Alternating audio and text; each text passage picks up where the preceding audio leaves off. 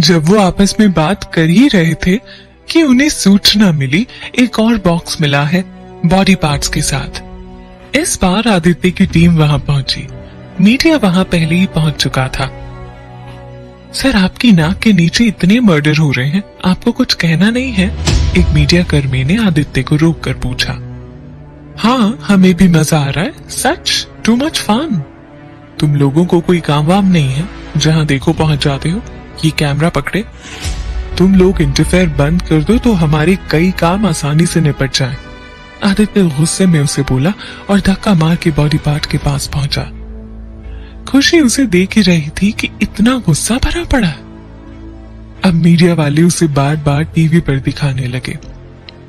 Killer वहाँ भीड़ में मौजूद था। उसने आदित्य का रौद्र रूप देखा। उसके काम करने का तरीका देखा। इधर टीवी पर आदित्य को दिखाया जाने लगा लगातार। देखिए, इस ऑफिसर का गुस्सा अपनी नाकामयाबी छुपाते हुए। कैसे इसने हमारी संवाददाता से बात की? आदित्य को टीवी में एक टेरो कार्ड रीडर भी देख रही थी। जब उसने आदित्य सिन्हा का नाम टीवी में सुना और उसे देखा तो उसे कुछ याद आने लगा। आदित्य की टीम को क्राइम की जगह पर काफ़ी रात हो गई। आदित्य ने सबको घर जाने को कहा और क्राइम जगह सील करवाई। खुशी अपने घर पहुँची। घर जाकर खुशी ने अपना फ़ोन ऑन किया। व्हाट्सएप देख ही रही थी और आदित्य का व्हाट्सएप नंबर मिला। उसने उसे देखा। उसका स्टेटस था, दिल में हो तुम, आँखों में तुम, बोलो तुम्हें कैसे चाहे? बंदा बड़ा रोमांटिक है। गर्लफ्रेंड होगी इसकी। पक्का तभी लगा है ऐसा? खुशी को अंदर से कुछ अच्छा नहीं लगा। ये सोचकर कि वो किसी और के साथ है। देखा तो स्टेटस दो साल पहले का था। ब्रेकअप हो गया होगा। अभी दो साल से यही स्टेटस है। अब उसके कलीजे में थोड़ी ठंडक महसूस हुई। पर वो ये समझ नहीं पा रही थी कि आदित्य के लिए उसके मन में इतनी स्पेशल फीलिंग क्यों है। पहले कभी देखा नहीं। सोच रही थी कि उसकी धड़कन एकदम तेज हो गई। खुशी ने नोट किया, जब भी आदित्य के सामने होती है या उसके बारे में सोचती है, उसके मन को बड़ा सुकून मिलता है। खुशी ने अपने सीने पर हाथ लगाया और सोने की कोशिश की। आदित्य घर जा रहा था। रास्ते में मरीन ड्राइव पड़ा। वैसे तो शायद आदित्य अब संभल भी जाता, पर जिस जगह को वो भूलना चाहता था, वो रोज किसी न किसी बहाने से उसके सामने आती रहती थी। उसे लगा जैसे कोई उसे वहाँ खड़ी देख रही है। आदित्य के चेहरे पर अजीब सी उदासी छा गई। उसने तय किया, जल्दी से इस केस के निपटते ही दिल्ली वापस चला जाएगा। यहाँ रहा तो वो उसकी यादें, उसकी बातों से बाहर नहीं आ पाएगा। आदित्य घर पहुँचा। गाड़ी से उतरने लगा, महात्रे बोला, सर, मैंने आपके लिए टिफ़िन लगवा दिया है। वो रोज बाहर गेट पर लगा के चला जाएगा। इसकी क्या ज़रूरत थी? आदित्य बोला, सर, तबीयत खराब हो जाएगी, ऐसे कैसे? महात्री डरते हुए बोला, आदित्य ने उसके कंधे पर हाथ रखा और हाँ में सिर हिला के थैंक यू बोल के जाने लगा। वेलकम सर सर, कल कितने बजे आऊँ?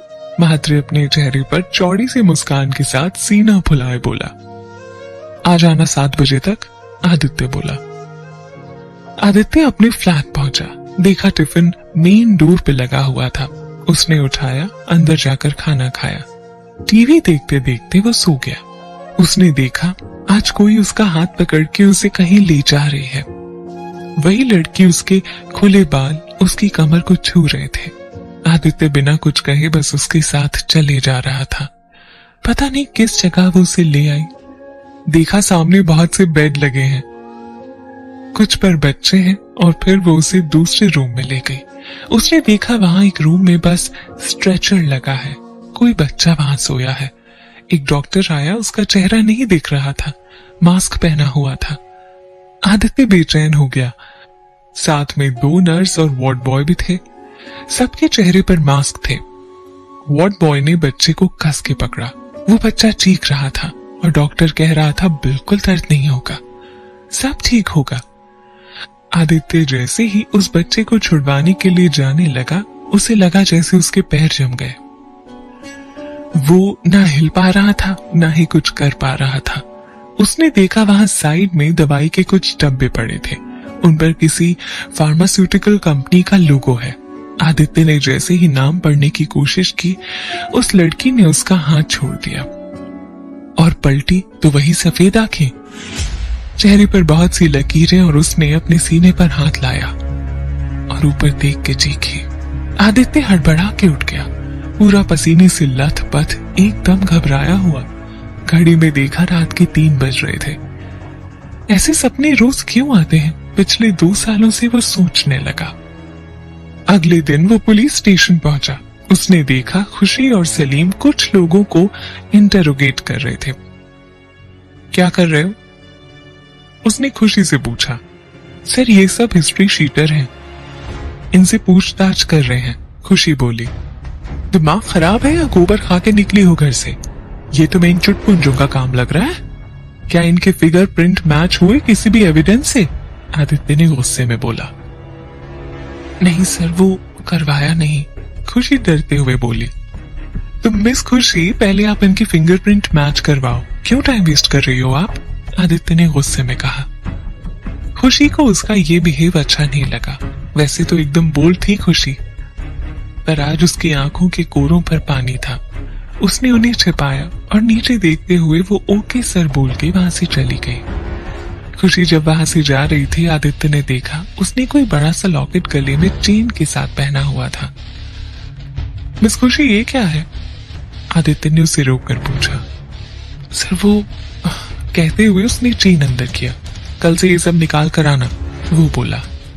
पर सर, वो कुछ कहना चाहती थी कि आदि बोला, जाओ फिंगरप्रिंट मैच कराओ, बातें नहीं। उधर किलर ने आदित्य के नाम एक लेटर लिखा और हेड ऑफ़िस में कुरियर भिजवा दिया। आदित्य राहुल के साथ कुछ क्लू ढूंढ रहा था। केस की कड़ियाँ जोड़ने में लगा था कि खुशी उसके पास कुरियर लेकर आई और बोली आदित्य सर, आपके लिए कुछ आया है? क्या है? आदित्य फाइल्स में उलझा हुआ बोला। पता नहीं सर, वो बोली। अच्छा लाओ दो।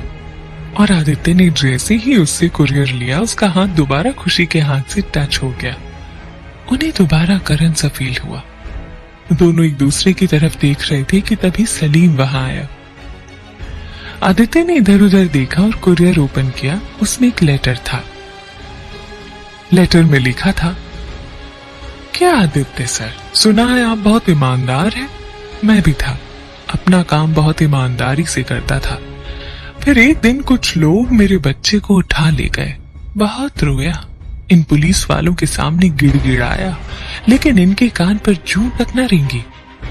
अगला नंबर पाटिल का है, बचा सकते हो तो बचा लो। उसे बस खाने से मतलब है, अपनी वर्दी का फ़र्ज़ निभाने से नहीं।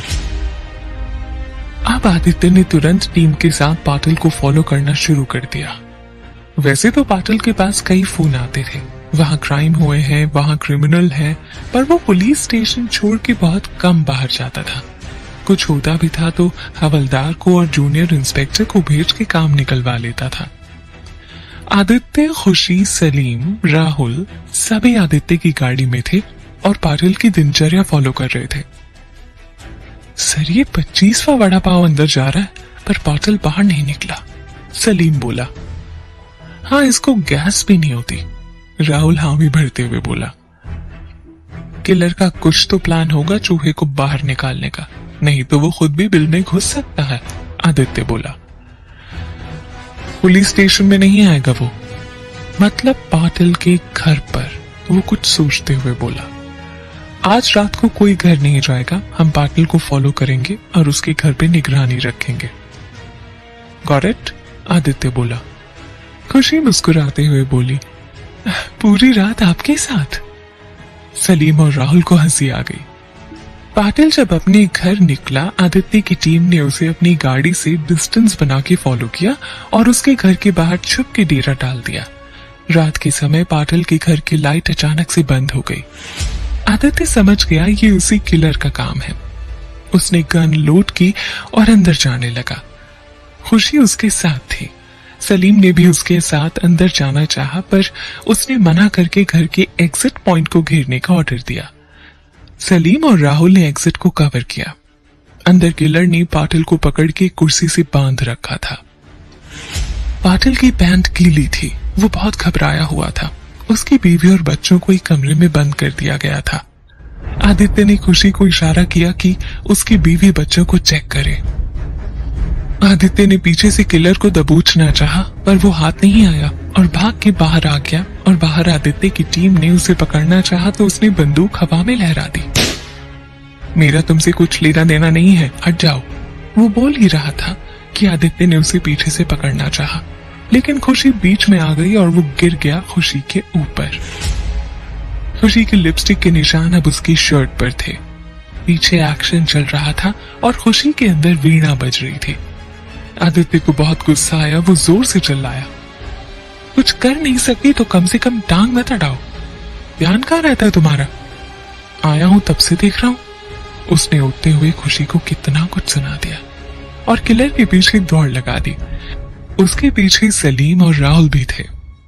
इधर खुशी उसकी डांट से इतनी आहत हो गई कि उसके आँसू निकलने लगे। वो जैसे तैसे खड़ी हुई कि अचानक से उसके सीने में तेज दर्द होने लगा और उल्टियाँ शुरू हो गई। उधर कुछ देर पीछा करने के बाद फाइनली उसने किलर को दबोच लिया। चलो बेटा, मिल्खा सिंह, रेस खत्म हो गई। वो बोला और उसे पकड़ के ले आया। उसे लेकर आए और इन्वेस्टिगेशन रूम में उसे बाँध रखा था। और बढ़िया से पूजा भी उतारी जा रही थी। आदित्य रूम में एंटर हुआ और सबको रुकने का इशारा किया। क्या ज़्यादा चर्बी चढ़ी है तुझे? आदित्य उसका मुँह ज़ोर से पकड़ते हुए बोला। एक साल से तुझे ढूंढ रहे हैं। ऐसा क्या है तुझ में जो तू अभी तक हाथ नहीं आया? और उसका मुँह ज़ोर से झटक दिया। आदित्य, सर, आपको क्या लगा? आपने मुझे पकड़ा। मैं आया आपके हाथों में, सर जी। किलर बेशर्मी से बोला। वो आगे बोला, आप भी तो वही करते हैं, सफ़ाई। मैं भी वही करता हूँ, समाज को साफ़ करने का काम। इस दुनिया में उनकी कोई जगह नहीं जो काम नहीं करते। इतना बोल के वो थोड़ा इमोशनल हो गया। मेरा बेटा था, सर, दस साल का। शंकर नाम था उसका। उठा लिया कुछ अस्पताल वालों ने। बहुत ढूंढा, नहीं मिला। बहुत पुलिस स्टेशन के चक्कर काटे, नहीं मिला। फिर यही एक तरीका था सबका ध्यान अपनी तरफ़ खींचने का। कितने सपने थे उसे लेकर। आदित्य और बाकी सबके चेहरों पर कुछ दया के भाव आ गए। तुझे क्या लगता है कुछ भी कहानी बनाएगा, मान लेंगे? आदित्य उसके सामने वाली कुर्सी पर बैठते हुए बोला, पता कर लीजिए सर, आपके लिए चुटकी का काम है मेरे बारे में पता करना। वो ढीठ होकर बोला, करूँगा ही। पहले तुझे अच्छी सजा दिलवा दू, आदित्य बोला। कुछ भी सजा दे दो, सर। बस मेरे बेटे का पता लगवा दो। वो मेरे बस की बात नहीं है। आप कर सकते हो। किलर इमोशनल होकर बोला। आदित्य इन्वेस्टिगेशन रूम से बाहर निकला। बाहर कमिश्नर उसका वेट कर रहे थे। वो बोले वेल डन माई बॉय जो काम वो लोग पिछले एक साल से नहीं कर पाए, तुमने चंद दिनों में कर दिया। सो so प्राउड आदित्य अब कुछ सोच में पड़ गया। उसे ऐसे देख के कमिश्नर बोले, आदित्य, क्या हुआ? तुम कुछ खुश नहीं लग रहे? सर क्रिमिनल कोई खुद नहीं बन रहा था कई बार समझ उसे ऐसा करने पर मजबूर कर देता है। ये ऐसे एक सताया हुआ पिता है, वो बोला। सर, क्या मैं यहाँ से जाने से पहले स्किलर ने जो कहा है उससे इन्वेस्टिगेट कर सकता हूँ? उस बच्चे के रिकॉर्ड वाली फाइल्स देखना चाहता हूँ। जो ये बता रहा है। बच्चे मिसिंग के केस को पाटिल देख रहा था। वो भी अनसॉल्व है। तुम चाहो तो लीड कर सकते हो कमिश्नर बोले। ठीक है सर कल मैं मिलता हूँ पाटिल से। आज तो वैसे ही वो ढीला हुआ पड़ा है, आदित्य बोला। आदित्य जब घर जाने की तैयारी कर रहा था, उसके रूम में आनंद फानन में एक लेडी घुसी। लंबा कुर्ता, प्लाजो, गले में मोती की बड़ी माला, बाल घुंघराले बड़ी सी बिंदी। मैं आए कामिन सा वो बोली। आ तो गई हो, और कितना अंदर आओगे आप? आदित्य उसे देखते हुए बोला। पीछे से कांस्टेबल गुप्ता भी था। आदित्य ने उसे जाने का इशारा किया। उसने कहा कि, सर, मैं एक टैरो कार्ड रीडर हूँ, और मैं आपसे कुछ बात करना चाहती हूँ, किसी के बारे में। क्या वो किसी क्राइम या क्रिमिनल से रिलेटेड है? वो बोला। नहीं, सर, पर कुछ बताना है आपको, वो बोली। बताइए, आदित्य ने उसे देखते हुए कहा, सर, इसके लिए आपको मेरे साथ मेरे घर चलना होगा, वो बोली। अब आदित्य की ठन की। उसने उसे ऊपर से नीचे देखा और कहा, देखिए मैडम, अभी तो मैं लेट हो रहा हूँ और रही बात कुछ बताने की, वो आप यहाँ बता सकते हैं। सर, आप शायद यहाँ मेरा यकीन ना करें, आप मेरे साथ चलिए, वो बोली। आदित्य को वो औरत पागल लगी। वो ज़ोर से बोला, गुप्ता, जरा चाय पिला मैडम को। देखिए मैम, चाय पीजिए, हमारे यहाँ एकदम स्वादिष्ट चाय बनती है, और अपने घर जाइए, मुझे कुछ नहीं पता करना। कहते हुए वो बाहर निकल गया। वो गाड़ी की तरफ़ गया कि उसने देखा कार की बैक पे लिखा हुआ था I want to meet you वो ज़ोर से चिल्लाया महात्रे महात्रे दौड़ के आया। जी सर, क्या है ये, किसने लिखा है ये? वो उसे दिखाते हुए बोला, पता नहीं सर, मैं साफ़ कर देता हूँ। कहते हुए महात्रे ने साफ़ करने की कोशिश की, पर कुछ निशान रह गए। किस चीज़ से लिखा है? हाथ है, मिट नहीं रहा, वो बड़बड़ाया। आदित्य जैसे ही गाड़ी में बैठने लगा, उसने देखा खुशी अपनी कार के बाहर खड़ी थी और किसी को फ़ोन पर कंटिन्यूस बजाने में लगी थी। क्या है ये? जल्दी पहुंचो। सारी रात तुम्हारा वेट नहीं कर सकती मैं।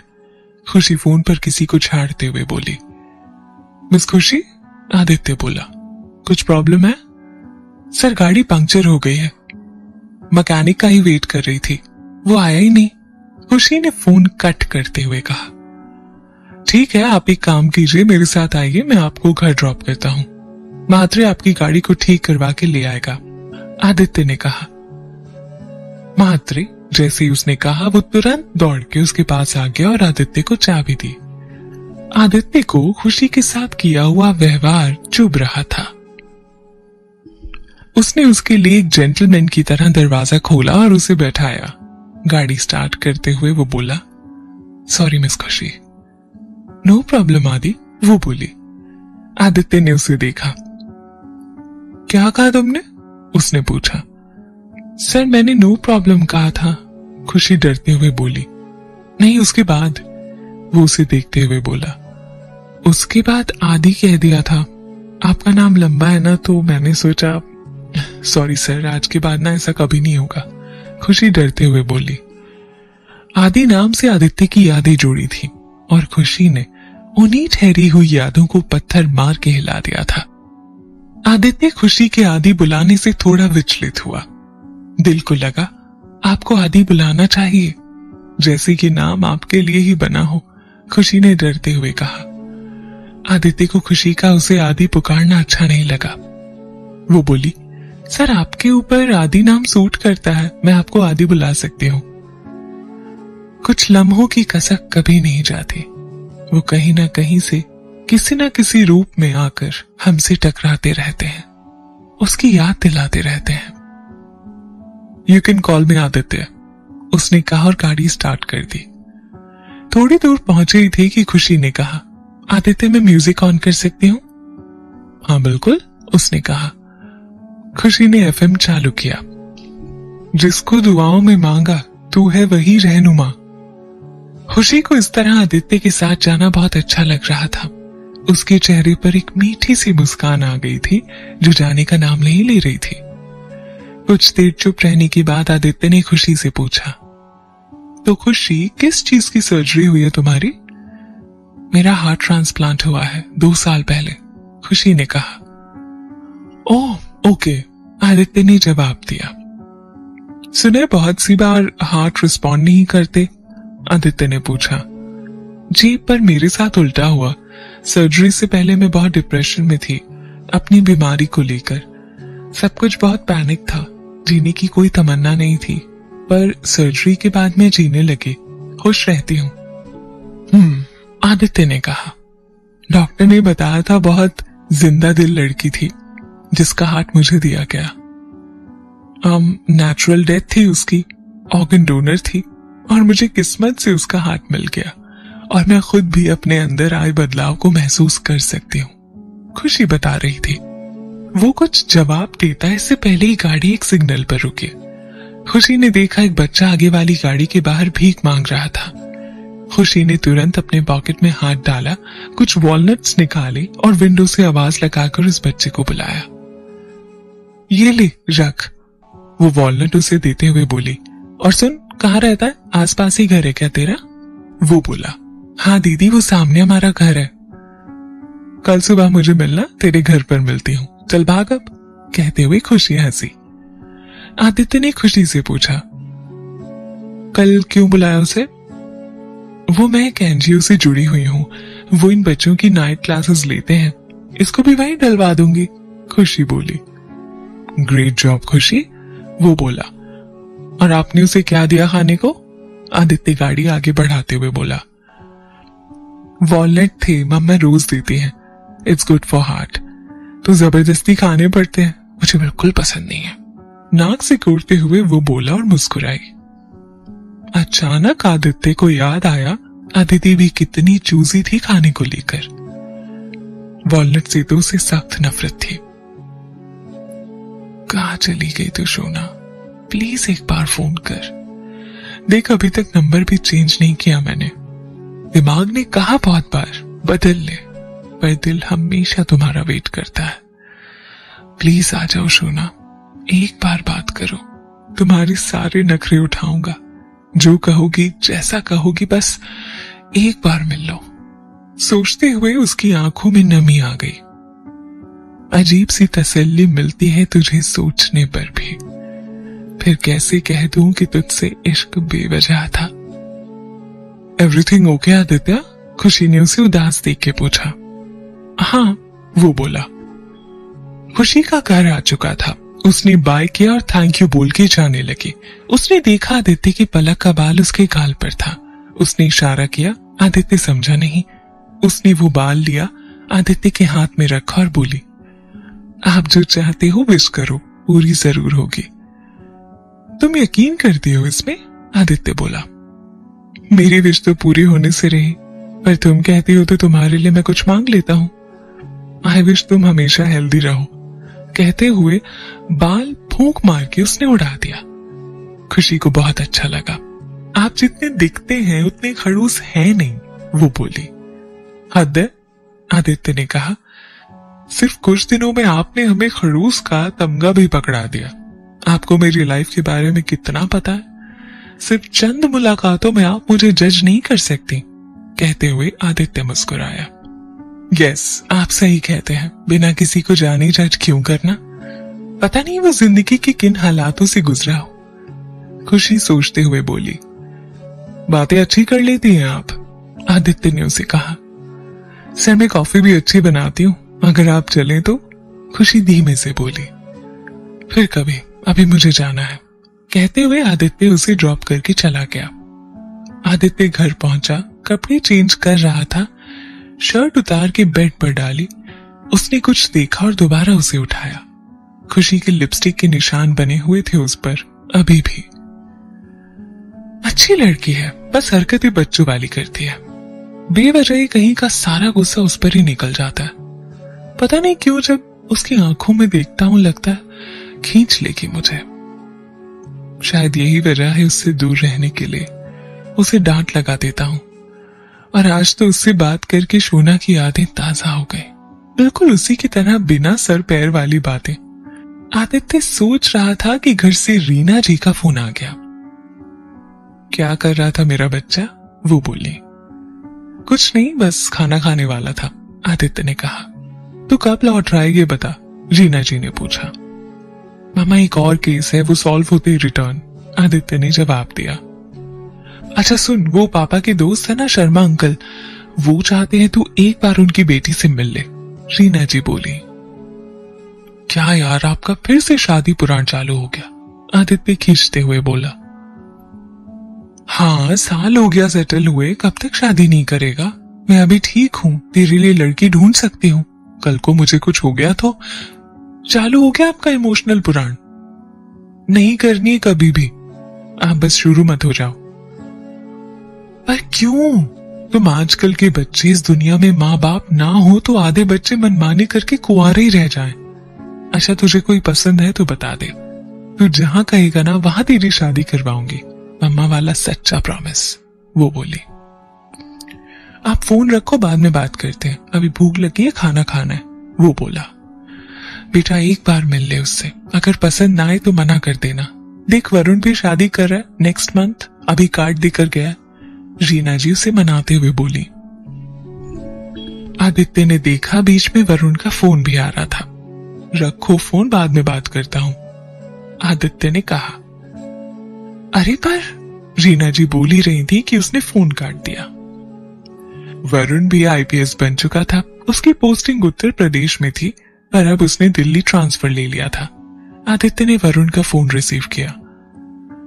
अरे भाई, कैसा है तू? वरुण सामने से बोला, बस मस्त, तू सुना, तू भी दिल्ली पहुँच गया?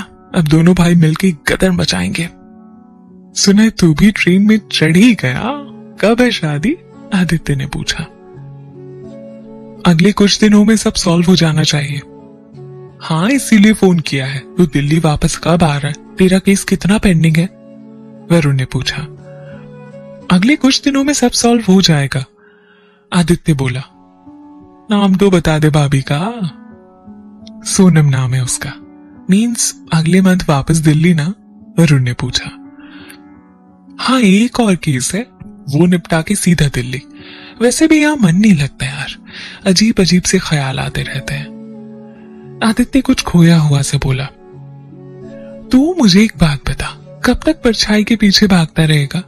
तुझे नहीं लगता अब कुछ ज़्यादा हो गया अगर इश्क सच्चा होता तो क्या वो तुझसे कभी मिलना नहीं चाहती? सब झूठ था आदित्य। बाहर निकल इस सपने की दुनिया से। देख, बाहर की दुनिया बहुत हसीन है। आदित्य वरुण की बातें सुनते हुए वही शर्ट देख रहा था, जिस पर खुशी की लिपस्टिक के निशान थे। हम्म वो बोला, बस भैंस की तरह ना सिर हिला और हम्म कर। और तो कुछ करने लायक तो बचा नहीं है, वरुण चिल्लाया। शादी में तुझे चाहे कितने भी इंपॉर्टेंट काम हो, तुझे यहाँ रुकना है तीन चार दिन। मुझे ही तेरे लिए कुछ करना पड़ेगा। अच्छा सुन, सोनम की ना एक फ्रेंड है, बिल्कुल तेरी तरह है। तू कहे तो बात चलाऊं? या फ़ोन नंबर दे दू? वैसे भी तुझे फ़ोन वाली ज़्यादा पसंद आती है, वरुण हँसते हुए बोला। यहीं से पंच मारूँगा, ढूंढ लूँगा खुद अपने लिए। आपको मेहरबानी करने की ज़रूरत नहीं है, आदित्य बोला। मैं भी वही चाहता हूँ यार। अपने लिए ना सही फैमिली के लिए भी सोचना पड़ता है। वो जो भी थी, आई और चली गई। अगर तुझसे कुछ होता उसका तो एक बार तू मिलती। चल माना उसकी कुछ मजबूरी होगी। पर तू क्यों खुद को जला रहा है? अंकल भी नेक्स्ट मंथ रिटायर हो रहे हैं, आंटी ने बताया। वो तुझसे क्या चाहते हैं? बस यही कि तू भी सेटल हो जाए। वो भी खुशी से अपना रिटायरमेंट एंजॉय कर सके, वरुण ने उसे समझाया। आज मम्मा ने तेरी बहुत कान भरे हैं, लगता है। आदित्य हँसते हुए बोला, वरुण बोला, ऐसी बात नहीं है यार, बचपन से तुझे जानता हूँ, फ़िक्र है तेरी। कहने को घायल तो यहाँ हर एक परिंदा है, लेकिन जो फिर से उड़ सका, वही तो ज़िंदा है। सबकी कोई ना कोई कहानी होती है, लेकिन सभी जी रहे हैं। तेरी तरह नहीं, सोच और आगे बढ़। चल अभी फ़ोन रखता हूँ। मिल मुझे जल्दी से यहाँ आकर। कहते हुए वरुण ने फ़ोन रख दिया। उस रात आदित्य एक पल को भी नहीं सो सका। रह रहकर उसे खुशी का अपने ऊपर गिर जाना याद आ रहा था। उसे अच्छा नहीं लग रहा था। जो इमोशन अभी तक अदिति को लेकर थे, वो अब धीरे धीरे बदलने लगे थे।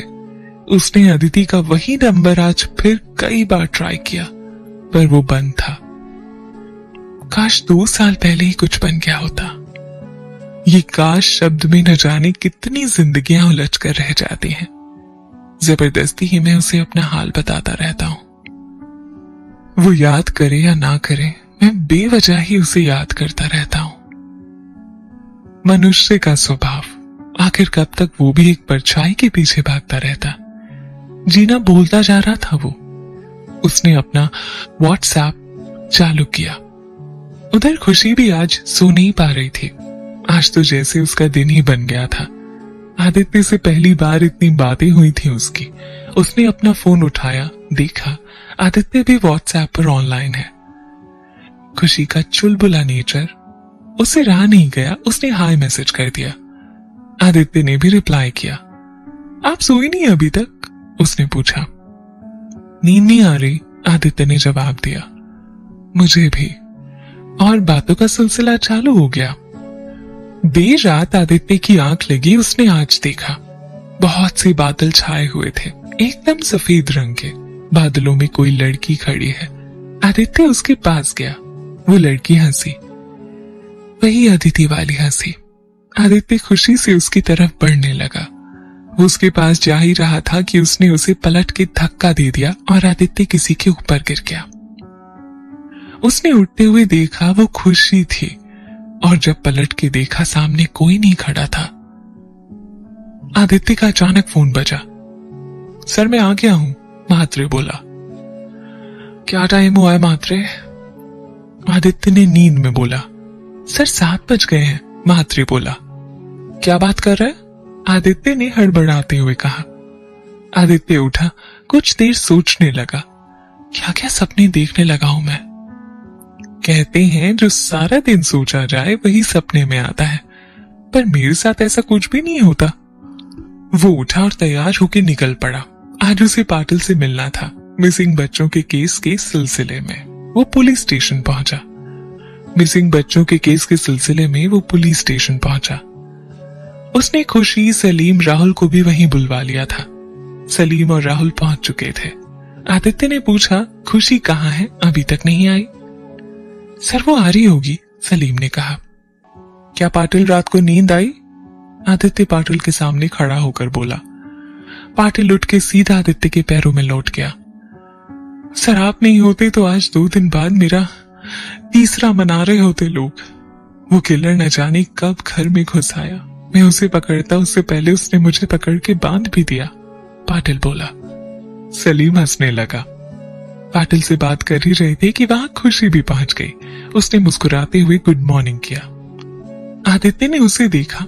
आज वो बहुत सुंदर लग रही थी और उसकी आँखें, उनसे तो उसे अब डर लगने लगा था। उसने इधर उधर देखते हुए गुड मॉर्निंग किया। पाटिल बताने लगा, सर, दो साल पहले की बात है। कुछ आदमी आए थे मेरे पास कि उनके बच्चे खो गए हैं और किसी अस्पताल पर शक भी जताया था। पर, सर, बिना किसी सबूत के इन्वेस्टिगेशन कैसे करते? वैसे कुछ लोगों से उस समय एसीपी सर ने बात की थी। कुछ मिला नहीं और उन्हें छोड़ना पड़ा। आप चाहो तो एसीपी सर से मिल लीजिए। इतने में आपटे वहाँ आ गया, पाटिल ने कहा। आपने वड़ा पाव लेकर आ सबके लिए। फिर उसे याद आया, नहीं, आपने रहने दे, सर को वड़ा पाव पसंद नहीं है। खुशी को हँसी आ गई। इस बार आदित्य को भी उसकी हरकतों पर हँसी आ गई।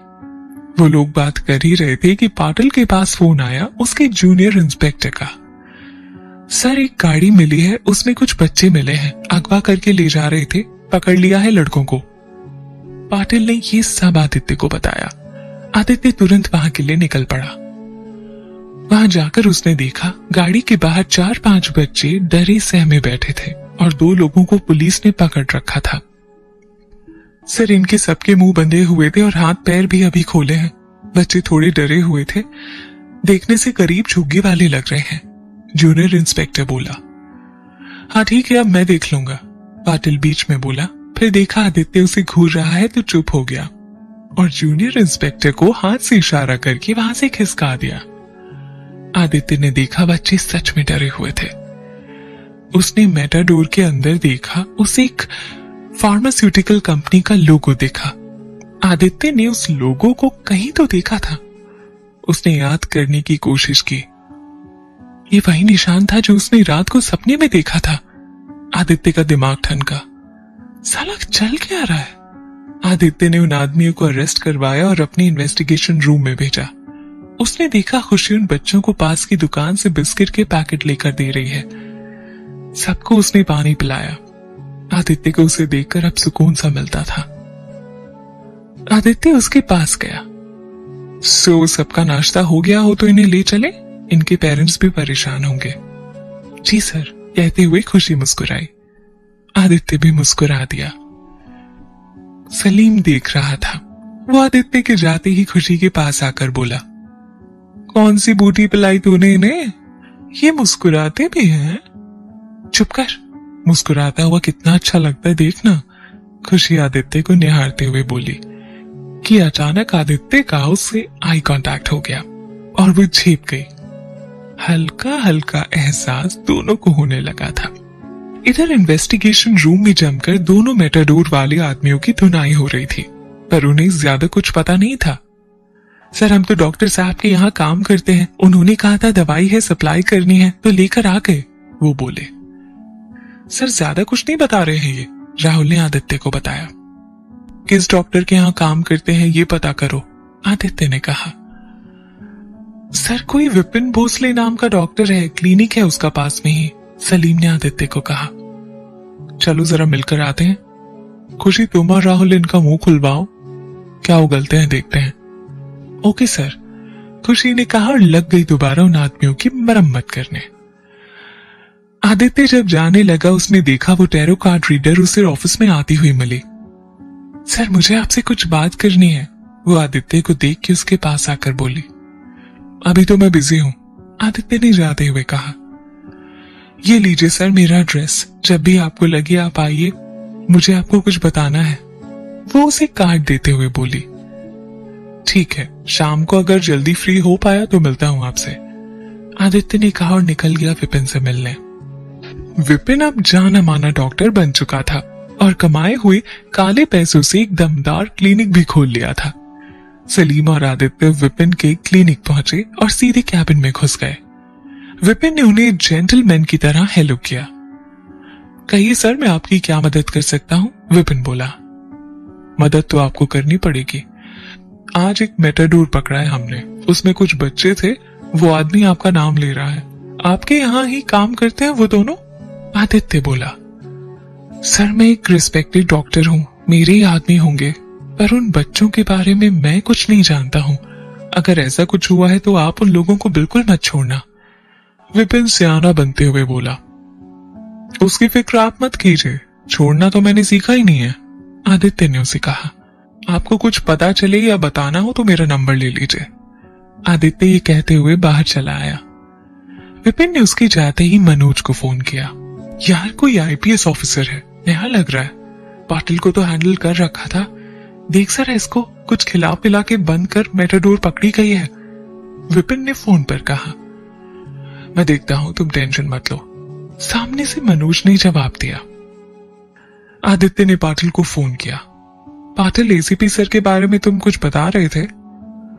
हाँ सर, वो उन्होंने किसी लड़की के कहने पर इन्वेस्टिगेशन करवाई थी, पर कुछ हाथ नहीं आया था। सलीम एसीपी से मिलते हैं पहले, वो बोला। आदित्य और सलीम एसीपी के पास पहुँचे। आदित्य ने एसीपी के रूम से बाहर से परमिशन ली और जय हिंद सर कहते हुए वो अंदर आ गया। सर, मुझे पाटिल ने आपके बारे में बताया। मैं एक केस को इन्वेस्टिगेट कर रहा हूँ। आज भी हमें कुछ बच्चे मिले हैं। एक मेटाडोर डॉक्टर विपिन की थी। और फार्मा कंपनी का लोगो भी मिला है। अभी मुझे वो जानना है पूछताछ के लिए। पर सर, दो साल पहले भी कोई बच्चे अगवा हुए थे। आपने कुछ इन्वेस्टिगेशन करवाई थी। सर, कुछ दिनों पहले मैंने एक किलर को पकड़ा था, उसने कुछ बताया था उस बारे में। आदित्य ने पूरी बात एसीपी को बताई। हाँ आदित्य, जहाँ से बच्चे अगवा हुए थे, वहाँ पास ही एक मेडिकल कॉलेज भी है। वहाँ के डीन मिस्टर कुलभूषण प्रसाद वर्मा मेरे मित्र हैं। उन्होंने मुझे बुलाया था और कुछ हिंट दिया था। एक लड़की का भी मर्डर हुआ था। और विपिन और उसका एक दोस्त, राजीव भी उसमें सस्पेक्ट थे। किसी लड़की के कहने पर इन्वेस्टिगेशन करवाई गई थी, पर मिला कुछ नहीं। बहुत पूछताछ हुई, पर बिना सबूत के हमारे हाथ बंधे हुए थे। और रेप्यूटेड डॉक्टर्स हम ज़्यादा कुछ कर नहीं पाए, इसी भी बोले। सर, आप मुझे इस मेडिकल कॉलेज का एड्रेस देंगे प्लीज़ और डीन सर से आप बात कर लीजिए, एक बार मैं उनसे मिलना चाहता हूँ, आदित्य ने कहा। अरे बिल्कुल, रुको। मैं तुम्हारे सामने ही उनसे बात कर लेता हूँ। एसीपी बोले। एसीपी ने फ़ोन लगाया। हेलो वर्मा जी, मैं एसीपी जोशी बोल रहा हूँ। आपसे हमारे ऑफिसर मिलना चाहते हैं। अगर आप परमिशन दें तो उसे किसी केस के सिलसिले में आपसे बात करनी है। एसीपी बोले। ठीक है, आदित्य तुम जाओ और ये रहा एड्रेस एसीपी ने उसे एक पेपर पर एड्रेस लिख कर दिया। थैंक यू सर जय हिंद। कहते हुए सलीम और आदित्य वहाँ से निकल आए। आदित्य ने बाहर आकर माथरी को मेडिकल कॉलेज का नाम बताया और वहाँ जाने का ऑर्डर दिया। सर, हम सही दिशा में इन्वेस्टिगेट तो कर रहे हैं ना? ये केस और वो केस बिल्कुल डिफरेंट भी हो सकते हैं, सलीम ने कहा। बिल्कुल सलीम, पर हमें खुद नहीं पता सही क्या है और गलत क्या। तो हमें जानने में मेहनत तो करनी होगी ना? आदित्य ने उसे कहा। आदित्य और सलीम बातें कर ही रहे थे कि मात्रे ने गाड़ी रोकी। सर वो कॉलेज आ गया। आदित्य उतरा, साथ में सलीम भी। दोनों कॉलेज क्रॉस करते हुए अंदर बढ़ रहे थे। आदित्य इस बात से बेखबर था कि ये उसकी अदिति का ही कॉलेज है।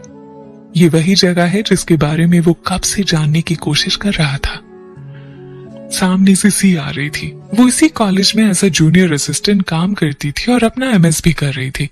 उसने आदित्य को देखा, एक पल को रुकी। उसे उसका चेहरा कुछ जाना पहचाना लगा।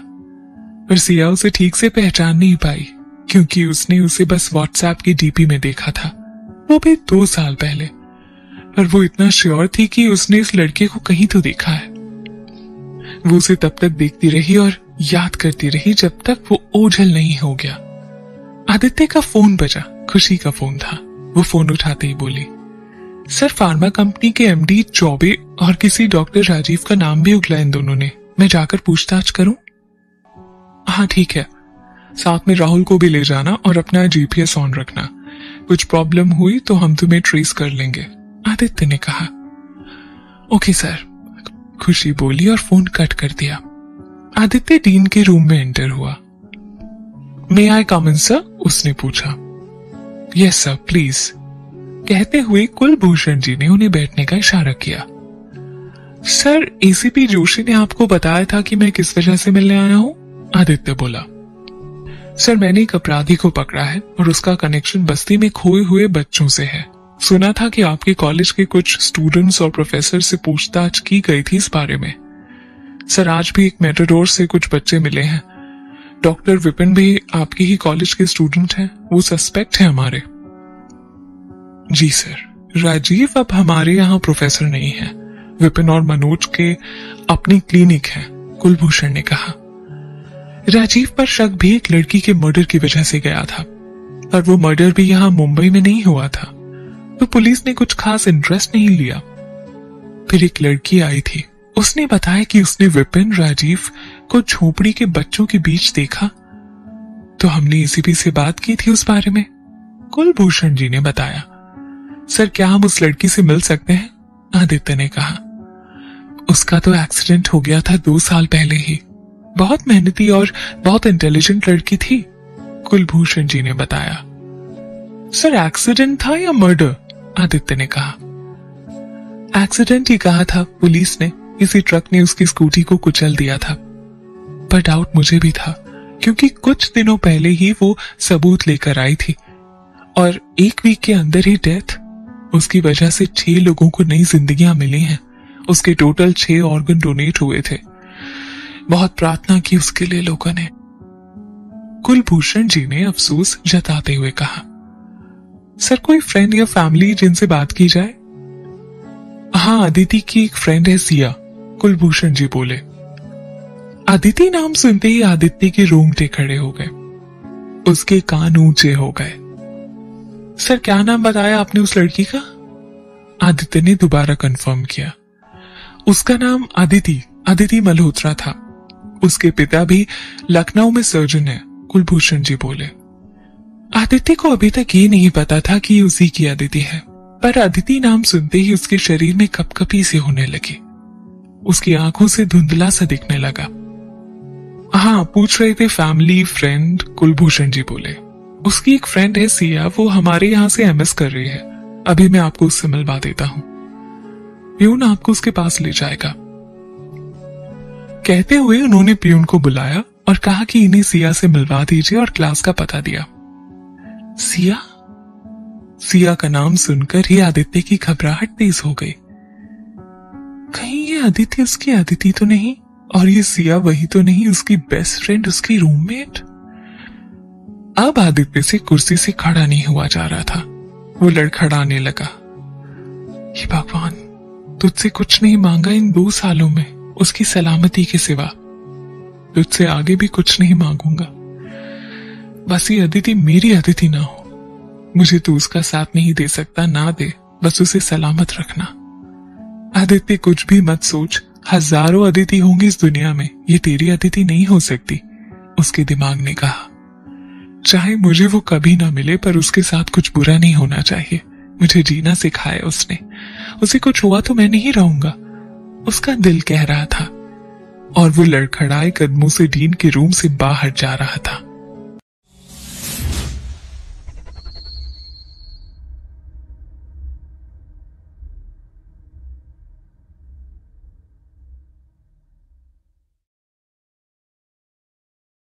आदित्य लड़खड़ाए कदमों से डीन के रूम से बाहर निकला। सलीम उसके साथ था। वो समझ नहीं पा रहा था कि आदित्य सर को एकदम से हुआ क्या है। उसने उसे ऐसे देख के पूछा, सर, आप ठीक हैं? आदित्य ने कोई जवाब नहीं दिया। उसका दिल दिमाग सब कुछ बंद हो चुका था। वो बस प्यून के पीछे चला जा रहा था, अपने भगवान से प्रार्थना करते हुए कि ये उसकी अतिथि ना हो। प्यून एक रूम से बाहर जाकर खड़ा हो गया। सर क्लासेस तो खत्म हो चुकी हैं। यहाँ पर सारे जूनियर होते हैं। मैं उन्हें देख कर आता हूँ। अगर वो यहाँ हुई तो कहते हुए वो अंदर चला गया। आदित्य वहीं एक दीवार के सहारे खड़ा होकर बाहर गार्डन की तरफ़ देखने लगा। पियून कुछ देर में आया, बोला, सर, मैडम तो हॉस्टल चली गई हैं। यहाँ से आगे ही थोड़ी दूर पर हॉस्टल है। मैं आपको वहाँ तक छोड़ देता हूँ। सलीम ने देखा आदित्य कुछ नहीं बोल रहा था। हाँ सलीम ने प्यून से कहा दोनों सिया के हॉस्टल की तरफ़ गए। प्यून अंदर जाके सिया को बाहर लाया। सर, मैडम आ गई हैं, आपको जिनसे बात करनी थी। इतना कहकर प्यून चला गया। सिया ने उसे दोबारा देखा, उसे हल्का हल्का लगने लगा कि ये वही है, पर वो श्योर होना चाहती थी। जी सर सिया ने कहा। आदित्य ने हाथ हिलाकर सलीम को क्वेश्चन करने को कहा। आप किसी अतिथि को जानती है? सलीम ने उससे पूछा। जी, उसने कहा और आदित्य को देखा। आप अंदर आइए प्लीज़ कहते हुए वो दोनों को अंदर ले गई। ये वही हॉस्टल का रूम था जहाँ से अदिति उसे फ़ोन किया करती थी। आदित्य रूम देख रहा था और सिया उसे नोटिस कर रही थी। सलीम ने उसे पूछा, आप मुझे उनके बारे में कुछ बता सकती हैं? हमें केस के सिलसिले में उनकी जानकारी चाहिए। आप बैठिए प्लीज़ कहते हुए उसने दो चेयर लगा दी। जी सर, वो मेरी बेस्ट फ्रेंड थी। दो साल पहले उसका एक्सीडेंट हो गया था। वो अपने फ्रेंड से मिलने जा रही थी और एक ट्रक से उसकी टक्कर हो गई। सिया आदित्य को याद करते हुए बोली, क्या वो किसी आदित्य को जानती थी? आदित्य से रहा नहीं गया और उसने डायरेक्टली सवाल पूछ लिया। जी हाँ सिया बोली। वो आदित्य को पहचानने की कोशिश कर रही थी पर अब उसे यकीन होने लगा था कि वही आदित्य का आदि है। आदित्य ने गहरी सांस ली और पूछा, वो उस वक्त उसी से मिलने जा रही थी? हाँ आदि, वो तुमसे ही मिलने आ रही थी। सिया की आँखों में अजीब सा खालीपन था। आदित्य के अंदर तो जैसे तूफ़ान ने दस्तक ही दे दिया था। वो खड़ा हुआ और एक खिड़की से टकराकर बाहर देखने लगा। उसके आँसू निकलने लगे और यकीन नहीं हुआ कि ये उसी की अतिथि थी। सिया को समझ नहीं आ रहा था कि वो कैसे आदित्य को समझाए और सलीम के लिए तो ये सब आउट ऑफ़ कोर्स था। वो तो कुछ जानता ही नहीं था, पर उसने आदित्य को ऐसे टूटते हुए पहली बार देखा था। Sir sir are you okay वो आदित्य के पास जाकर बोला। Aditya she loves you very much मुझे आज भी याद है वो उस दिन कितने नखरे कर रही थी, कितने कपड़ों के बाद कुछ डिसाइड हुआ। कि उसे क्या पहनना है। बहुत सुंदर लग रही थी वो एकदम परी जैसी, सिया ने बताया। आदित्य की आँखों से आँसू तेज गति से बह रहे थे। उसकी कोई तस्वीर है तुम्हारे पास? मोबाइल में होगी? आदित्य भरी गली से बोला। हाँ है ना? कहते हुए सिया ने अपने मोबाइल के फोल्डर को ओपन किया। उसमें अदिति की बहुत सारी पिक्स थी। आदित्य ने जैसा इमेजिन किया था, उसकी अदिति बिल्कुल वैसी थी। उसकी हर तस्वीर, उसकी अलग अलग शख्सियत बयां कर रही थी। थोड़ी नखरीली, थोड़ी स्वीट थोड़ी मस्ती खोर थोड़ी गुस्सेल। तस्वीर देख के मन में ख्याल आया। तू ज़्यादा खूबसूरत थी या तेरे ख्याल? हर एक तस्वीर को आदित्य हाथ से छूकर महसूस कर रहा था। उसके आँसू, उसका दर्द समझने लायक नहीं था। जिससे मिलने के सपने देखा करता था वो तो शायद अब कभी मिलेगी नहीं। तेरे चेहरे पर मासूमियत भी क्या खूब झलकती होगी। कयामत आ जाती होगी तेरे मुस्कुराने पर। वापस आ जाना सोना फिर से कोई वजह ढूंढ लेंगे खोने की। यूँ दूर दूर ना तो मुझे अच्छी नहीं लगती है। हर रात तुझे सपने में देखा है मैंने। क्यों कभी समझ नहीं पाया कि तू परेशानी में है? क्यों तूने मुझे नहीं बताया सोना क्या मैं इस नहीं था कि तू कुछ शेयर करे मुझसे? आदित्य मोबाइल को हक करके जोरों से रोने लगा। सलीम को समझ नहीं आ रहा था, पर सिया जानती थी। यही प्यार तो उसने अदिति के अंदर भी महसूस किया था आदि के लिए। आदित्य, उसका मर्डर हुआ है, उसका एक्सीडेंट नहीं हो सकता। सिया ने आदित्य को बताना चाहा। आदित्य को गुस्सा आने लगा और उसने अपना हाथ दे मारा एक दीवार पर। सलीम उसके पास आया। सर, क्या कर रहे हैं आप? हाथ से खून निकल रहा था। उसने पूछा, किसने किया उसके साथ ही मुझे सब बताओ प्लीज़ वो बहुत समझदार थी।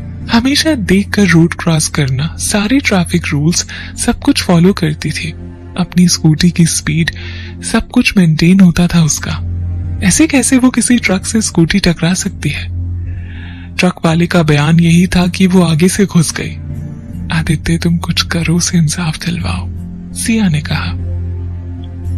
मैंने उसे कहा था, सिया, कि अगर वो अपना पता नहीं बताएगी तो मैं आईपीएस बनते ही उसे ढूंढ के गोदी में उठा के ले जाऊँगा। वो जहाँ भी होगी। लेट हो गया मैं उसे ढूँढने में। काश पहले ढूंढ लिया होता तुझे। तो कुछ नहीं होने देता। आदित्य की आँखें सूख नहीं पा रही थी। जिसने इतने साल तड़पाया, वो अब उस तड़प को देखने के लिए ज़िंदा ही नहीं है। सलीम अब समझने लगा था उसकी सिचुएशन उसे ऐसे देख के उसकी भी आँखों में पानी आने लगा था। उसके इस सख्त मिजाज का राज पता लगने लगा था। उसने आदित्य को संभालने की कोशिश की। इस कमरे ने कभी अदिति की आशिकी देखी थी। उसे आज आदित्य का दीवानापन भी देखने को मिल गया। सलीम ने उसे संभाला। सर प्लीज़ पूरी बात बताओ सिया। क्या क्या हुआ था दीदी के साथ?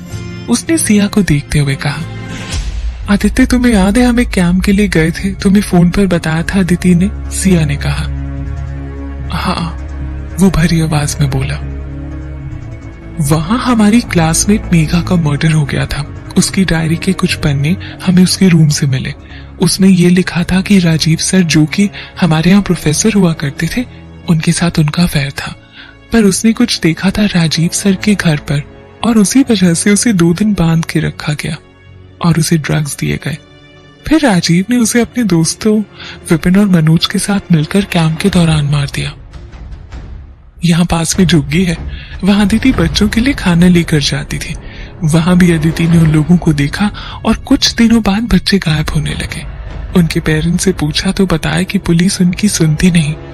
मेघा की डायरी के पन्ने अदिति ने डीन सर को दे दिए। उन लोगों पर कार्यवाही हुई, पर वो जल्दी छूट गए। और जिस दिन अदिति तुमसे मिलने आ रही थी, ठीक उसी समय उसका एक्सीडेंट हो गया। सबने कहा एक्सीडेंट था, पर वो पक्का मर्डर था। विपिन को अदिति ने कहते सुना था कि वो उसको भी मार देगा। सिया ने पूरी कहानी उसे सुनाई। अदिति ने मुझे ये सब क्यों नहीं बताया? आदित्य ने पूछा। तुम अपने सिविल सर्विसेज़ के एग्ज़ाम्स में बिज़ी थे। वो तुम्हें डिस्टर्ब नहीं करना चाहती थी। वो बोली, सबके बारे में सोचा करती थी वो। उसके साथ देखो क्या हुआ। इतनी अच्छी क्यों थी तू सोना और मैं तेरे बिना जीऊँगा कैसे? आदित्य की आँखों के आँसू सूखने का नाम नहीं ले रहे थे। तुम मुझे अदिति की पिक्स भेज सकती हो प्लीज़ वो नहीं, उसकी तस्वीरें तो अपने साथ रख ही सकता हूँ ना। नम आँखों से आदित्य ने उससे कहा, आदित्य ने अपना नंबर दिया, वो वहाँ से जाने लगा। आदित्य, अपना ख्याल रखना, अदिति भी यही चाहती थी, हमेशा तुम्हारी सलामती। सिया ने नम आँखों से उसे बाय करते हुए कहा, भीगी आँखों से आदित्य ने हाँ में सिर हिलाया। क्या तुम मेरे लिए काम कर सकती हो? हाँ सिया बोली अदिति का हार्ट किसे डोनेट हुआ है ये बताओगे प्लीज़ यहाँ से जाने से पहले एक बार उनसे मिलना ज़रूर चाहूँगा। सिया बोली, ठीक है, मैं एग्जैक्ट पता करके तुम्हें फ़ोन करती हूँ। उसने उस कमरे को एक बार फिर जी भर के देखा और वहाँ से निकल गया।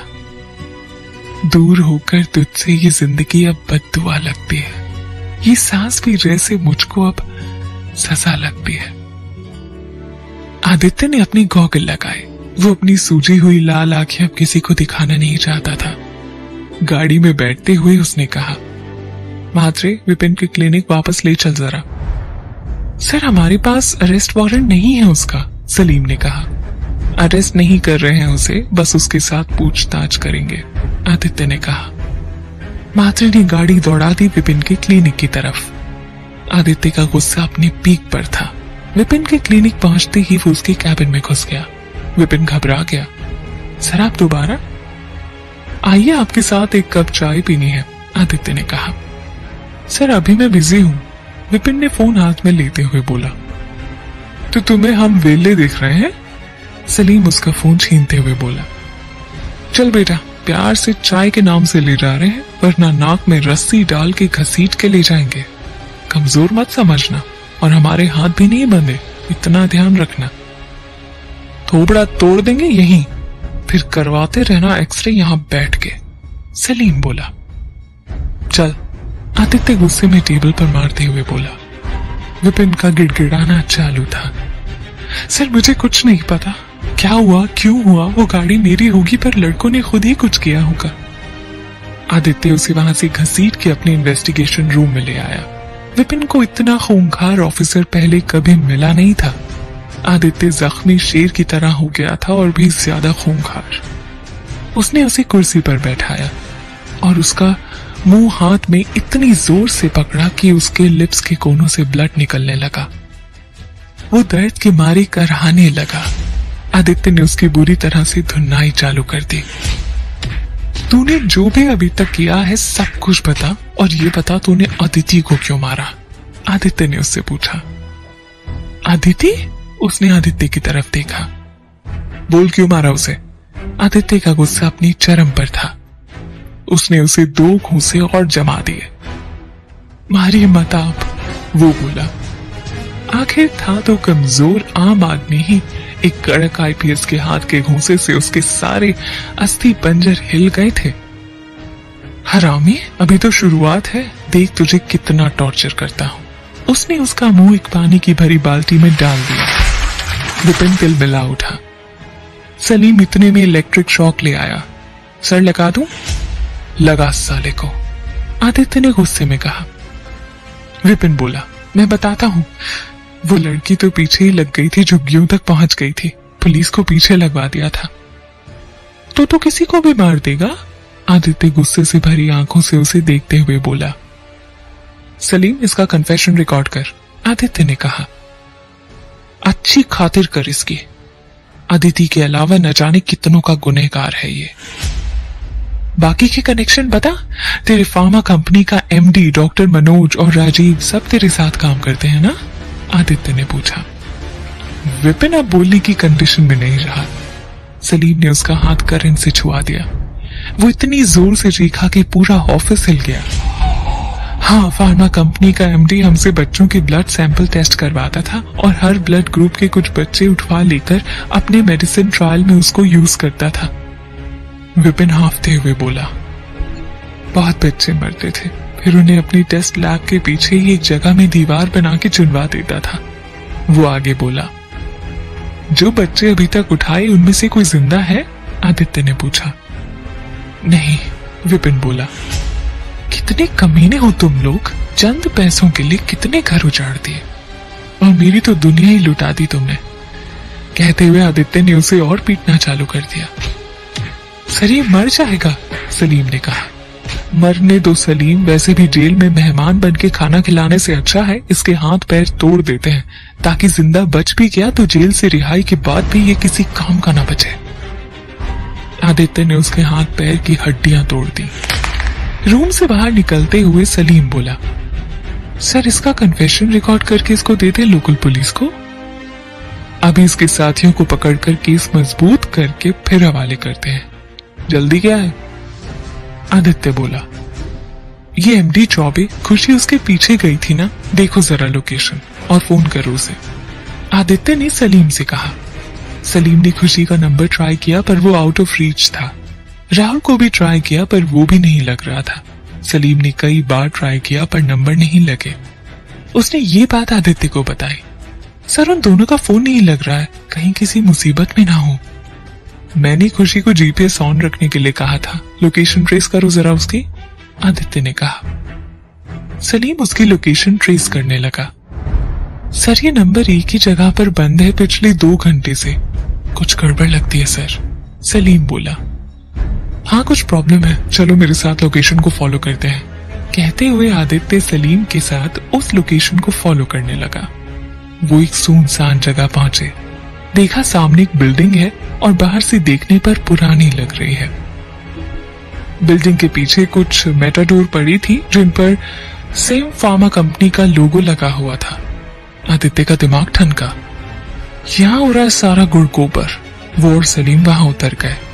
उसने माथरे को गाड़ी पीछे ले जाने को बोला। फिर कमिश्नर को फ़ोन लगाया और बैकअप मंगवाया।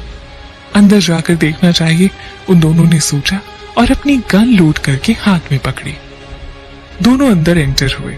बाहर से जितनी बिल्डिंग पुरानी थी, अंदर से वो वेल कंस्ट्रक्टेड लग रही थी। सामने सीसीटीवी भी था। दोनों बचते हुए अंदर घुसे। उसने एक रूम में झाँक के देखा, कुछ बच्चे बेड पर पड़े हुए थे। आदित्य को याद आया।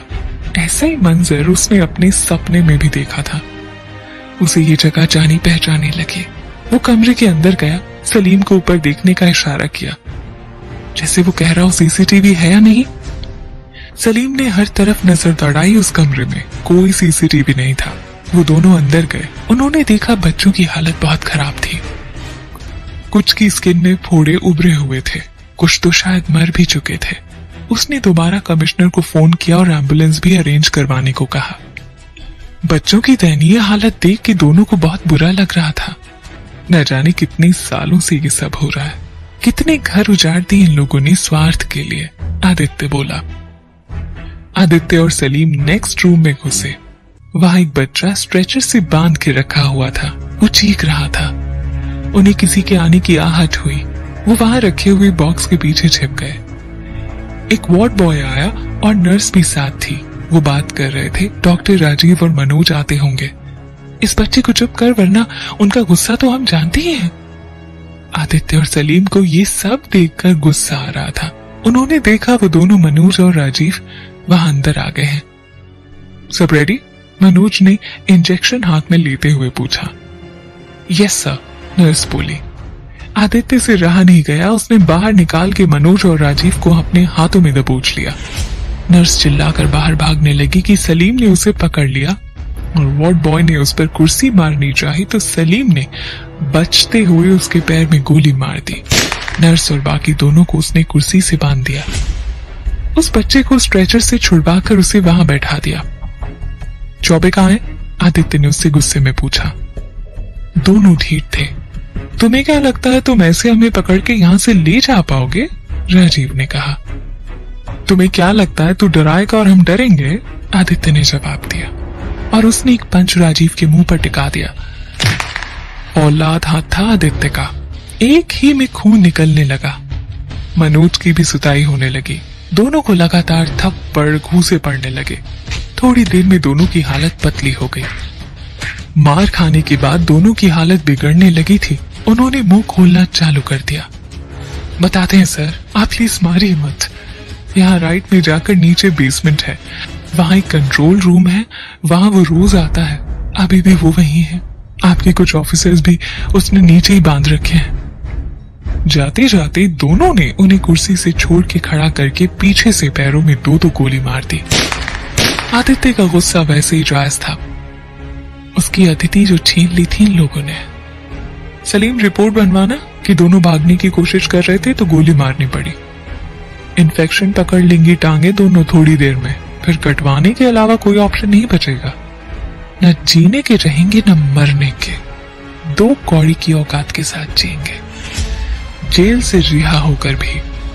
गोलियों की आवाज़ सुनकर उनके कुछ आदमी अलर्ट हो गए। अब सलीम और आदित्य बेसमेंट तक जाने लगे।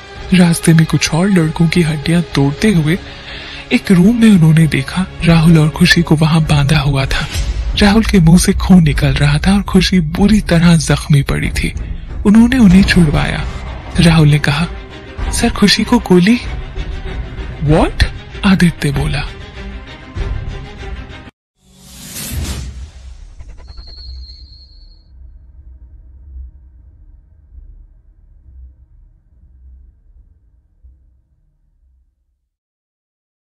वीडियो को लाइक करें, हमारे चैनल को सब्सक्राइब करें, बेल आइकन ज़रूर प्रेस करें। हमारी न्यू वीडियो सबसे पहले देखने के लिए सब्सक्राइब करने के बाद ना घंटी बजा देना, ताकि जब भी मैं कोई न्यू वीडियो अपलोड करूँ तो तुम्हारे फ़ोन की घंटी भी बजे।